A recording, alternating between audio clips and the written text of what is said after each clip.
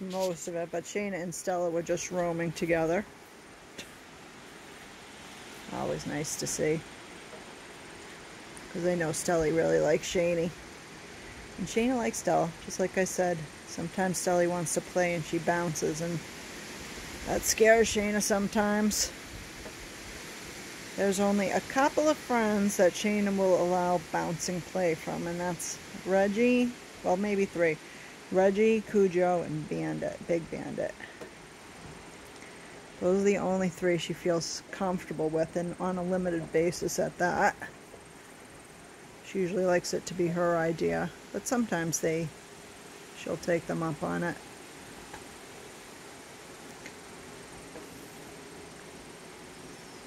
And Stelly would like to do that kind of play with Shaney. And uh, Sadie, I would say Sadie too. Sadie's a little older now though. Sadie's not interested in bouncy play.